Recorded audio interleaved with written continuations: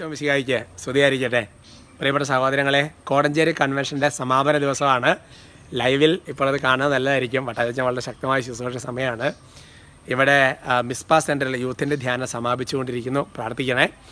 പ്രഭാഷകന്റെ പുസ്തകത്തിലെ പതിനെട്ടാമത്തെ അധ്യായത്തിന്റെ ഇരുപതാമത്തെ വാക്യം.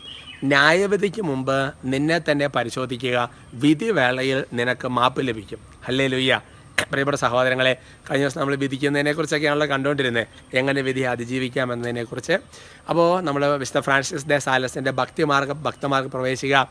അതിനകത്ത് ചില കാര്യങ്ങളാണല്ലോ പറഞ്ഞുകൊണ്ടിരുന്നത്. അഹങ്കാരം ഉണ്ടെങ്കിൽ വിധിക്കും അല്ലെ? മറ്റുള്ള ദുർഗണങ്ങൾ കണ്ട് സന്തോഷിക്കുക. വിധിയുടെ മറ്റൊരു കാരണത്തെക്കുറിച്ച് വിശുദ്ധ ഫ്രാൻസിസ് ഡെ സാലസ് പറയുന്നത് ഇങ്ങനെയാണ്. നമുക്ക് ചില ദുർഗണങ്ങളുണ്ട്. അപ്പം മറ്റുള്ളവരിലും അതേ ദുർഗണങ്ങളുണ്ട്.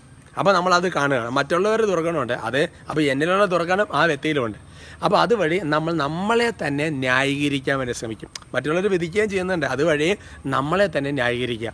എന്ന് മാത്രമല്ല അതായത് കുറ്റവാളികളുടെ എണ്ണം കൂടും തോറും കുറ്റത്തിന്റെ കാഠിന്യം കുറയും. ശരിക്കും അങ്ങനെ കുറയുന്നില്ല. അങ്ങനെ നമ്മൾ ആക്കുകയാണ്. ഓക്കെ അപ്പോൾ കുറേ പേര് അല്ലേ? ഇപ്പോൾ എല്ലാവരും ഇങ്ങനെ തന്നെയല്ലേ? അതോടുകൂടി നമ്മൾ നമ്മളെ തന്നെ ആശ്വസിപ്പിക്കുക. അതിനു വേണ്ടി മറ്റുള്ളവർ വിധിക്കുന്ന ഒരു കൂട്ടരെ കുറിച്ച് ഫ്രാൻസിസ് ഫ്രാൻസിസ് പറയുന്നു. അപ്പോൾ നമുക്കറിയാം ഇതെല്ലാം നമ്മളുണ്ടായിരിക്കണമെന്നില്ല ചിലപ്പോൾ ഇന്നലെ പറഞ്ഞായിരിക്കും നമ്മളുണ്ടായിരിക്കുക അങ്ങനെ ഓരോ ഓരോന്ന് മാറി മാറി ആയിരിക്കും വരെ ചില ആൾക്കാരെ കുറിച്ച് പറയുന്നത് വിശ വിശദം വിശദൻ പറയുന്നത് ഇങ്ങനെയാണ്. അതായത് പിന്നെ അതായത് ശിഷ്ടൻ അത് നമ്മളോട് ഇഷ്ടമുള്ളവരില്ലേ? അവർ ചെയ്ത് തെറ്റ് ചെയ്താൽ എന്തായാലും കുഴപ്പമില്ല. അവരെല്ലാം ശിഷ്ടന്മാരെ നല്ലവരാ എന്നാൽ നമുക്ക് അത്ര ഇഷ്ടമില്ലാത്തവരുണ്ടാവും.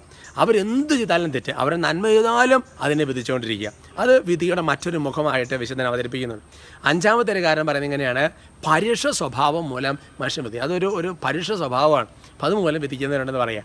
എന്ത് തന്നെയായാലും ശരി പ്രിയപ്പെട്ട സഹോദരങ്ങളെ നോക്കണം. ന്യായവിധിക്ക് മുമ്പ് ഈ ഏതെങ്കിലും സ്വഭാവങ്ങൾ നമ്മളിലുണ്ടോ എന്ന് പരിശോധിച്ചാൽ പിന്നെ ന്യായവിധിയിൽ എന്ത് സംഭവിക്കും? വിധിമേളയിൽ നമുക്ക് കർത്താവ് മാപ്പ് തരും എന്ന് വചനം വെളിപ്പെടുത്തുകയാണ് അല്ലേ ലൊയ്യ പറ്റുവാണെങ്കിൽ നാളെ നാളെ കഴിഞ്ഞോ? ഈ വിധിക്കുന്ന സ്വഭാവത്തെ അതിജീവിക്കാനുള്ള മാർഗങ്ങളെക്കുറിച്ച് നിങ്ങളോട് സംസാരിക്കുന്നതാണ്. ഈശോ അനുഗ്രഹിക്കട്ടെ. ഇപ്പോഴും എപ്പോഴും എന്നേക്കും. ആമേൻ.